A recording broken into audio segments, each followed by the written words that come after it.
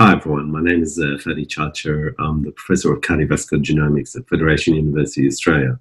I'm also the Vice President of the International Society of Hypertension. Um, I would like to speak to you about the uh, ISH 2020 Global um, Guidelines, in particular the non-pharmacological treatment that we recommend in these new guidelines. Um, in these in, in, in, these new guidelines, a lifestyle modification are actually recommended as a first line of our antihypertensive treatment uh, and for the prevention of hypertension. This is for patients with grade one hypertension. And for grade two and patients with hypertension mediated organ damage, we recommend uh, immediate drug treatment in addition to lifestyle modification. And why have we chosen lifestyle modification as a first line of treatment? Um, and our evidence comes from uh, lots of studies uh, over many years that show that healthy lifestyle choices can prevent or delay the onset of high blood pressure and can reduce uh, cardiovascular risk. In addition to this, uh, many studies show that modifications in lifestyle can actually enhance the effect of antihypertensive treatments.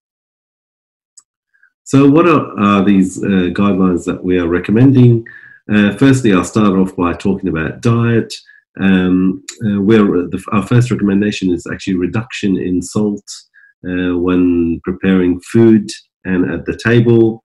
And we're also recommending you to these guidelines that uh, uh, patients avoid or limit consumption of high salt foods. And this is salt hidden in many processed foods that they may consume. Secondly, we're recommending a diet rich in whole grains, fruits, vegetables, polyunsaturated fats, and dairy products. And such an example of diet is the DASH diet, which has been recently shown to prevent hypertension and reduce blood pressure. Um, in the guidelines, we're also recommending a, a, reduction in foods high in sugar, saturated fats, and trans fat. But we're also recommending the increased intakes of vegetables, which are high in nitrates, uh, such vegetables are leafy green vegetables and beetroot. Uh, there's been many studies now showing that beetroot has beneficial effect in the reduction of uh, blood pressure. Um, other beneficial foods we're, we're, recommending are those high in magnesium, calcium, and potassium. Such uh, foods are avocados, nuts, seeds, uh, legumes, and tofu. Um, in terms of diet, we're also recommending the moderate consumption of healthy drinks, and these healthy drinks can be coffee, green and black tea. Uh, there's evidence showing uh, herbal teas such as hibiscus is very beneficial uh, for the reduction of blood pressure.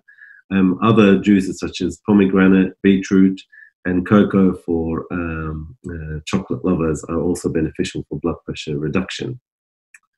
In, in, in 2020 guidelines, uh, we recommend moderate consumption of alcohol, and by this we mean uh, two units for men per day, uh, two uh, standard drinks for men per day, or 1.5 standard drinks uh, for women. And in addition to that, we're recommending the avoidance of binge drinking, which has been uh, shown to be detrimental to blood pressure reduction. Um, furthermore, we uh, recommend weight control uh, and avoidance of obesity. Um, and, and for this, we follow uh, the recommended BMI uh, guidelines for different ethnicities. And if not, we recommend a waist to height ratio of four, less than 0.5 for all populations. And we're asking uh, these patients and health professionals to be careful with complementary alternative or traditional medicines where there's little or no evidence that they have any benefit on the reduction of blood pressure. In terms of lifestyles changes, uh, in, in these guidelines, we, we recommend smoking cessation for its uh, obvious benefits for many diseases. Um, also, we, in terms of exercise here, we're recommending the engagement of regular moderate intensity aerobic and resistant exercise, new to these guidelines, at 30 minutes at five to seven days per week. Or for those patients that are uh, time poor, we're recommending a new form of high intensity interval training, uh, which has also sh- shown to be beneficial in the reduction of blood pressure. Furthermore, we're, uh, uh we're recommending reduction in stress and the introduction of mindfulness in daily routines And we believe these are areas that are, uh, there's uh, lots of emerging evidence that they're beneficial for blood pressure reduction. And lastly, we uh, recommend uh, reduction of exposure to air pollution if possible and to cold temperatures. Thank you.